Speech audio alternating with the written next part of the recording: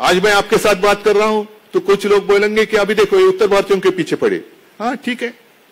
लेकिन कल परसों आकर मोदी जी अपनी रोटी सेक कर गए। कहा रोटी सेकी उन्होंने? किसके किचन में? वो आए ना फ़ोटो। अगर ये मैं करता तो? तो शिवसेना उद्धव ठाकरे ने हिंदू छोड़ा। लेकिन मोदी जी हमारे देश के प्रधानमंत्री, वो मैं उस कम्युनिटी के खिलाफ नहीं हूँ। बोरा कम्युनिटी के लोग आज हमारे साथ भी है। अच्छे लोग हैं। अच्छे लोग हैं। लेकिन मैं अगर उनका अच्छा कहता हूँ तो बोलेंगे, हिंदुत्व तो छोड़ दिया। और मोदी जी, हमारे देश के प्रधानमंत्री, उनके किचन में जाकर रोटी सेकते हैं।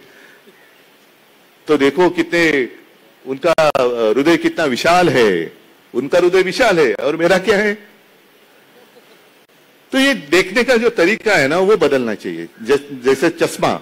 चश्मे दिन गवाह है ना? कल के रोटी सेकने के लिए वो काय चपाती लागतानाचे चष्मे दिन गवाह काही आहेत? त्यांनी फ़ोटो पण काढलेत. लेकिन वो करे तो सब माफ़ है और हम करे तो नहीं नहीं, ये तो अपराध है। आप उत्तर भारतीयों के बीच में नहीं जाना चाहिए। आप यहाँ नहीं जाना चाहिए। अरे कौन हो? आप कौन होते हो? हमें बताने वाले, हमें क्या करना चाहिए? हम करेंगे जो हमारे दिल में है और दिल में हमेशा सबके लिए अच्छा ही करना है, ये हमारी भावना होती है।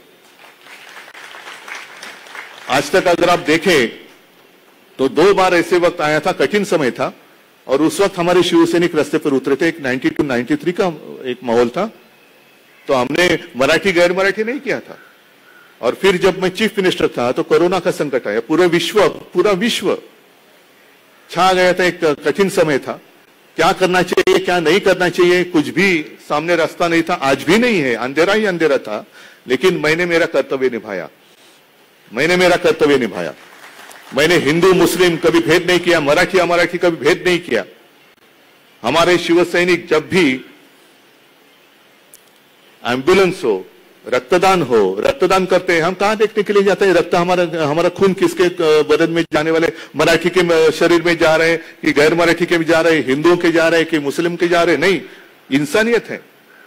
इंसानियत है। और वो हम काम करते हैं।